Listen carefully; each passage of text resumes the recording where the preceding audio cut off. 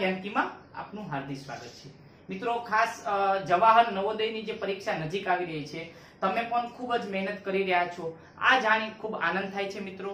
ખાસ પરીક્ષાની અંદર મહેનતની સાથે સાથે આપણે પરીક્ષાનું જે સ્વરૂપ છે, એ પણ આપણે સમજવું જોઈએ. ખાસ બે હજારની અંદર જે બદલાવ આવ્યો, પ્રશ્નપત્રમાં, એની ઓએમઆર શીટની અંદર, તો આ પણ એક પરીક્ષાનો ભાગ છે. જો ઓએમઆર શીટમાં આપણે ભૂલ કરશું, તો સાચા પ્રશ્નના પણ આપણને ગુણ મળશે નહીં મિત્રો. ઓએમઆર શીટ કઈ રીતે ભરવી એ પણ આપણે સમજી લઈએ. તો મિત્રો, થોડુંક આપણે એ સમજી લઈએ કે પ્રશ્નપત્ર, ખાસ મિત્રો, જે પ્રશ્નપત્રનું સ્વરૂપ છે, બરાબર? પ્રશ્નપત્રનું સ્વરૂપ. મેં મારા ફર્સ્ટ લેક્ચરની માં વાત કરેલી છે. જવાહર નવોદયનો જે મારો પહેલો વીડિયો છે ડિસ્ક્રિપ્શનમાં આપીશ. પણ છતાં આપણે ચર્ચા કરી લઈએ, અત્યારે વાત નીકળી છે તો ટોટલ પ્રશ્નપત્રની વાત કરવામાં આવે તો કુલ પ્રશ્નો કેટલા છે મિત્રો? કુલ પ્રશ્નો 80 થઈ ગયા મિત્રો. અને 80 પ્રશ્નોના ગુણ કેટલા છે? 100 ગુણ. ખાસ મિત્રો, ગુણ કેટલા છે? 100 ગુણમાં બદલાવ નથી કર્યો. કેવા પ્રશ્નો છે? તો મિત્રો પહેલો વિભાગ છે એ તાર્કિક પ્રશ્નો મિત્રો, તાર્કિક આકૃતિના પ્રશ્નો છે એ 40 થઈ ગયા.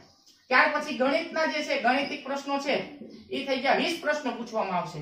અને ભાષાની વાત કરવામાં આવે, મિત્રો, તો ભાષાના પણ વીસ પ્રશ્નો. ટોટલ કેટલા છે? એસી પ્રશ્નો છે. એનો સમય, મિત્રો, આ 80 80 પ્રશ્નોનો સમય બે જ કલાક છે. ખાસ આપણા માટે સારા સમાચાર કહેવાય કે પહેલા સો પ્રશ્નો હતા અને ગુણ પણ સો હતા અને બે કલાક હતો. હવે પ્રશ્નો થઈ ગયા એસી. પણ સમય બે કલાક. પણ ગુણ કેટલા છે? સો. એક પ્રશ્ન સાચો પડે મિત્રો. તો એક પ્રશ્નનો આપણી વાત કરવામાં આવે, એક પ્રશ્ન હશે મિત્રો. એના ગુણ કેટલા છે? એક આપણને માર્ક મળશે. બરાબર? ખાસ. મિત્રો, ઘણા મિત્રો મને પૂછતા હતા કે જવાહર નવોદયના જે પ્રશ્ન પેપર છે મિત્રો, જે પ્રશ્નો છે એમાં ખોટો પડે તો નેગેટિવ સિસ્ટમ છે કે નહીં? તો એની પણ આપણે ચર્ચા કરી લઈએ મિત્રો. ખાસ આપણે એ સમજી લઈએ કે એક પ્રશ્ન ખોટો પડે તો કાંઈ નેગેટિવ નથી મિત્રો. પ્રશ્ન, ખાસ જોઈએ, નોંધ લખી લેજો. પ્રશ્ન ખોટા પડે તો નેગેટિવ એટલે કે માર્ક કપાતા નથી મિત્રો આપણા માર્ક કપાતા નથી મિત્રો. ખાસ સૂચના આપણે સમજી લઈએ કે નેગેટિવ પ્રશ્ન, જે પ્રશ્ન આપણો ખોટો પડશે તો એકેય માર્ક આપણો નેગેટિવ સિસ્ટમ છે એ આમાં છે નહીં. તો આપણને આપણે સમજી લઈએ. પછી મિત્રો ખાસ આપણે ઓ એમ આર સીટ મિત્રો, જે આપણે પ્રશ્નના જવાબ લખીએ છીએ, એને ઓ એમ આર સીટમાં આપણે લખવાનું છે. તો ઓ એમ આર સીટ આપણા માટે ખૂબ જ અગત્યની છે. તો ખાસ તમને વાત કરીએ કે ઓએમઆર શીટની અંદર શું શું છે, એ આપણે સમજી લઈએ. તો ખાસ એની અંદર આપણે પણ ભૂલ ન થવી જોઈએ. મિત્રો, જ્યારે પણ ઓએમઆર શીટની અંદર આપણે જે આવી રીતે સર્કલ પૂરું કરવાનું છે મિત્રો, તો આપણે બે વસ્તુ આપણે સર્કલની વાત કરી લે પછી આપણે ઓએમઆર શીટ તરફ જાય બરાબર મિત્રો? આ આપણું સર્કલ છે મિત્રો, તો આ સર્કલ ને આપણે પૂરેપૂરું ફિલઅપ કરવાનું. અહીંથી આપણે આ રીતે આપણે કરશું. બરાબર? આખે આખું સર્કલ મિત્રો, આમાં થોડીક પણ ચૂક થશે તો આપણો માર્ક કપાઈ જશે મિત્રો. આ રીતે આપણે આખે આખું સર્કલ થોડું કે બાકી રાખવાનું છે નહીં. આખે આખું. બરાબર? દાખલા તરીકે ઘણી વખત ઉતાવળમાં આપણે આમ કરીને આપણે આ રીતે સર્કલ કરીએ, થોડું બહાર નીકળી જાય ઓકે થોડું અધૂરું રહી જાય. તો આ આપણી પદ્ધતિમાં આપણો માર્ગ કપાશે મિત્રો. આ રીતે કરવાનું થતું નથી. આપણે સર્કલને આ રીતે પૂરેપૂરું ફિલઅપ કરવાનું રહેશે. તો મિત્રો, હવે આપણે ખાસ ઓ એ માર્કશીટ શીટ છે, એમાં કઈ રીતે આપણે ભરવું? એના સ્ટેટના કોડ ડિસ્ટ્રિક્ટના કોડ મિત્રો, એ આપણને છે, આપણને સુપરવાઇઝર જે બ્લોક ઉપર આપણે એક્ઝામ દેવા જશું, તો ત્યાં આપણને સમજાવશે.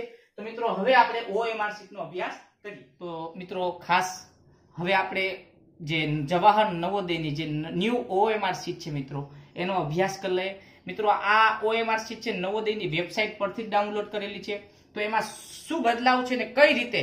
પહેલાની જે ઓએમઆર શીટ હતી મિત્રો, આપણને ખ્યાલ છે, એમાં એક, બે, ત્રણ આંક લખતા હતા.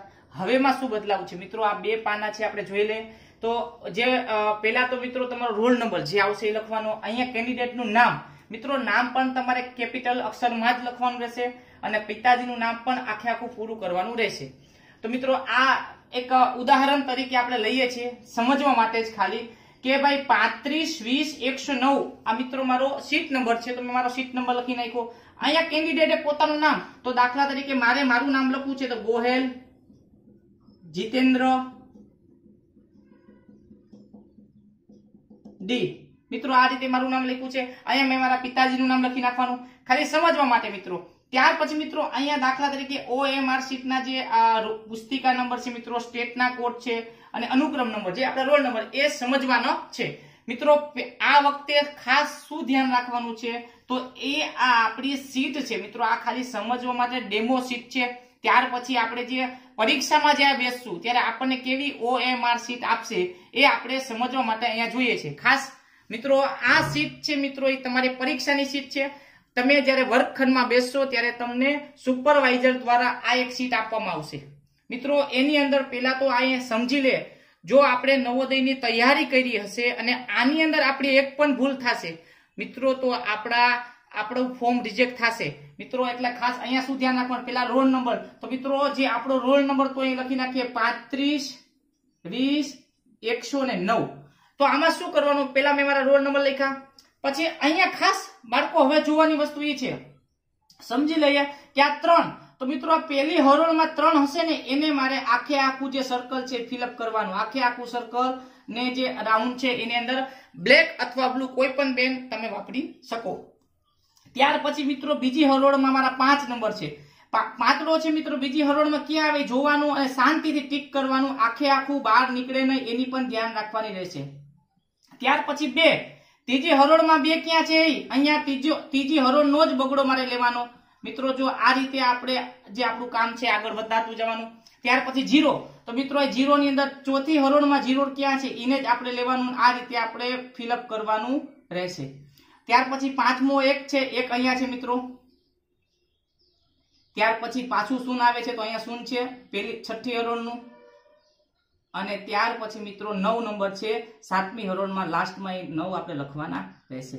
મિત્રો, આમાં જો આપણે ભૂલ કરશું, તો મિત્રો આપણું ફોર્મ જ રિજેક્ટ થઈ જાય. એટલે આ જે સર્કલ છે, એ સર્કલની બહાર પણ નીકળવું ન જોઈએ અને અધૂરું પણ ન રહેવું જોઈએ. આ ત્રણ વસ્તુને આપણે ખાસ સમજવાનું છે. ત્યાર પછી મિત્રો, આ મુખ્ય પ્ર- પ્રશ્ન પુસ્તિકા. મિત્રો, જે આપણે પેપર આપણને મળે છે, એની ઉપર એક કોડ આપેલો હશે. સમજવા માટે આપણે લખીએ છીએ કે આપણો કોડ છે બાર, પાંચ, છ ત્રણ, બે અને એક. મિત્રો, આ આપણો કોડ હશે, મિત્રો, ખાસ બાર, છપ્પન, ત્રણ, એકવીસ. મિત્રો, આ પુસ્તિકાનો કોડ છે, તો એ જે રીતે રોલ નંબર લખ્યો, એ જ રીતે એકડો ક્યાં આવશે? તો અહીંયા આપણે એકની હરોળમાં આ જે છે, પહેલી હરોળમાં એક ક્યાં છે, પછી બે, બીજી હરોળમાં બગડો જુઓ, ત્રીજી હરોળમાં પાંચ ક્યાં છે, તો આ પાંચ. આ રીતે આપણે આગળ વધવાનું રહેશે. ફરી વખત, મિત્રો, આ જ વસ્તુની પ્રોસેસ અહીંયા પણ તમારે કરવાની છે રોલ નંબર પછી મુખ્ય જે પુસ્તિકા નંબર, અહીંયા ખાસ મિત્રો સ્ટેટ, ડિસ્ટ્રિક્ટ કોડ, બ્લોક અને સેન્ટર. મિત્રો, ગુજરાત રાજ્યની વાત કરીએ તો એનો સ્ટેટનો કોડ છે જીરો છ. મિત્રો, આ સમજી લે જીરો અને છ અહીંયા લખવાના. ત્યાર પછી ડિસ્ટ્રિક્ટની વાત કરીએ. મિત્રો, દરેક જિલ્લાનો કોડ અલગ હશે. ને આ બધી જ વિગત, મિત્રો, આ પેલું બીજું, ત્રીજું, ચોથું, પાંચમું, આ છઠ્ઠું, આ ટોટલી વિગત, મિત્રો, આપણને સુપરવાઇઝરની સૂચના મુજબ જ કરવાનું. આપણે ઉતાવળ આમાં કરવાની થશે નહીં. જો આમાં આપણે ખોટા પડશું મિત્રો, તો ખાસ સમજી લ્યો, એટલી મહેનત કરેલી છે, મહેનત આપણી પાણીમાં જશે. એટલે સુપરવાઇઝર સૂચના આપે, હું અત્યારે ઉદાહરણ તરીકે દ્વારકા જિલ્લાની વાત કરું, તો દ્વારકા જિલ્લાનો ડિસ્ટ્રિક્ટ કોડ છે ટુ નાઇન. તો એ ટુ નાઇન. તમારે જે જિલ્લાનું હશે એ જ લખવાનું છે. બરાબર? ખાલી ઉદાહરણ માટે જ આપણે સમજવા માટે લખીએ છીએ. તો અહીંયા ટુ ક્યાં છે મિત્રો? અહીંયા બે આ રહ્યો. આખે આખું ગોળ ફિલઅપ કરશો અહીંયા. અહીંયા નાઇન ક્યાં છે? અહીં નાઇન ને આપણે ફિલઅપ કરીએ. જો સ્ટેટમાં ઝીરો અહીંયા છે મિત્રો ઝીરો ને આપણે રાઉન્ડ કરશું, પૂરેપૂરું રાઉન્ડ છ ક્યાં છે તો અહીંયા છ. આ રીતે જ આપણે સૂચના આપશે મુજબ. બ્લોકની વાત કરીએ તો બ્લોકની અંદર જે તે તાલુકો કહેવાય, એનો જે તાલુકાનો કોડ હશે, એ અહીંયા લખવાનો રહેશે. તમારો તાલુકો જે પણ હોય એ તમને મિત્રો સૂચના આપે, એ જ લખવાનું ને સેન્ટરનો કોડ તમારો તે સુપરવાઇઝર લખાવશે. તો આટલી વસ્તુ ખાસ સમજી લે મિત્રો. ત્યાર પછી મિત્રો ખાસ જરૂરી છે એ આપણી આન્સર શીટના જે ક્વેશ્ચન આન્સર મિત્રો ટોટલ એસી પ્રશ્નો છે અને એસી એસી આપણે બતાવેલા છે. તો હવે આપણે આની અંદર કેવી કહેવાય કે પદ્ધતિ અપનાવીએ કે જેથી આપણે ભૂલ પણ ન પડે. મિત્રો, જ્યારે પણ જ્યારે આન્સર શીટ તમારી પાસે હોય ક્વેશ્ચન પેપર હશે મિત્રો, એના જે જવાબ તમારે છે, એ આની અંદર ટીક કરવાના છે. આ આની અંદર જ આપણું ખાસ મહત્વનું છે. તો ખાસ પ્રથમ વસ્તુ શું આવશે મિત્રો? તો કે આપણો પહેલો આન્સર છે. તો પહેલો આન્સર બી આવે. તો મિત્રો, અહીં બી ની અંદર ટીક કરવાનું ખાસ જોઈ લે મિત્રો. આ બી છે આપણો પહેલો આન્સર તો અહીંયા. બરાબર? એની બહાર પણ નીકળવું જોઈએ નહીં. એક પહેલો પ્રશ્ન છે, એના કોઈ પણ એક જ આન્સર હોય. અહીંયા ભૂલથી જો અહીંયા સી અને બી બંને ટીક કરશો તો એ આપણો એ આપણો પ્રશ્ન છે, ખોટો કહેવાશે બરાબર? તો ખાસ પહેલી સૂચના એ છે મિત્રો સર્કલ છે, એ ચાર ઓપ્શનમાંથી એકને ટીક કરવાનું જે પણ હોય. બરાબર? બીજી વસ્તુ એ કે બહાર નીકળવું ન જોઈએ. દાખલા તરીકે આપણે બી બીજાનો જવાબ છે મિત્રો ડી આવે છે. તો ડી આપણે ઉતાવળમાં આમ કરી નાખીએ. થોડુંક બહાર નીકળી ગયું જો અહીંયા. ખાલી ડેમો બતાવવા માટે કર્યું મેં તમને. આ જો બહાર નીકળી ગયો તો એ આપણો માર્ક કપાઈ જાય. મિત્રો, આ ઓએમઆર સીટ છે કોમ્પ્યુટરની અંદર સ્કેન થતી હોય. જે કોમ્પ્યુટરની અંદર જ્યારે એના રૂલ્સની બહાર નીકળી જાય મિત્રો, તો એ આપણો માર્ક છે રિજેક્ટ થાય છે. સાચો પ્રશ્ન હશે તો પણ આપણને માર્ક નહીં મળે. એટલે આ રીતે આપણે કરવાનું થતું નથી. ત્યાર પછી બીજી સૂચના તમને હજુ એક મળે કે આપણે દાખલા તરીકે ત્રીજો આન્સર છે મિત્રો, એનો ઓપ્શન એ આવે છે એ લખીએ. પછી આપણને ખ્યાલ આવે એ નથી બી હતો. એટલે આપણે ચોકડી મારીએ, પછી અહીંયા બી આમ કરીએ. તો મિત્રો, આવી ચોકડી એવું કંઈ મારવાનું છે નહીં. સમજી વિચારીને જ આપણે ટીક કરવાના રહેશે. બરાબર? ખાસ આપણે જોઈ લેવાનું છે, આ ઓએમઆરની અંદર મિત્રો, પેલી ત્રણ વસ્તુનું ખાસ ધ્યાન રાખવું. જવાબ સાચો છે, એ જ ટીક કરવો, વિચારીને ટીક કરવાનું. પછી સર્કલની બહાર નીકળવું ન જોઈએ. પછી આવા ચોકડી કે એવું કંઈ આપણે કરતા નથી. જો મિત્રો આવી ચોકડી કેવું કરશું, તો આપણો માર્ક કપાશે. બરાબર? અને ખાસ ઓએમઆરની અંદર એ પણ આપણે સમજી લે કે એસી એસી પ્રશ્નો આપણે ટીક કરવાના છે. આમાં નેગેટિવ પ્રશ્નનું માર્ક છે નહીં. એટલે ખાસ નેગેટિવ નથી, એનો મતલબ કે આપણે કોઈ પણ પ્રશ્ન ખોટો પડે તો આપણા માર્ક કપાશે નહીં. મિત્રો, આટલી સૂચનાને ધ્યાનમાં રાખી આપણે આગળ વધીએ. ઓલ ધ બેસ્ટ તમે પણ આની અંદર થોડો ઘરે આપણી પાસે છ દિવસનો તૈયારીનો સમય છે, તો તૈયારી કરી લેજો. આની પીડીએફ છે મિત્રો, હું ડિસ્ક્રિપ્શનમાં આપીશ અને તમને વોટ્સઅપ મારા ગ્રુપ છે, એની અંદર પણ આપી દઈશ. તો ખાસ તમે થોડીક મહેનત કરો અને આનો અભ્યાસ કરી લેજો, જેને આધારે તમારે તકલીફ પડે નહીં. થેન્ક યુ આભાર.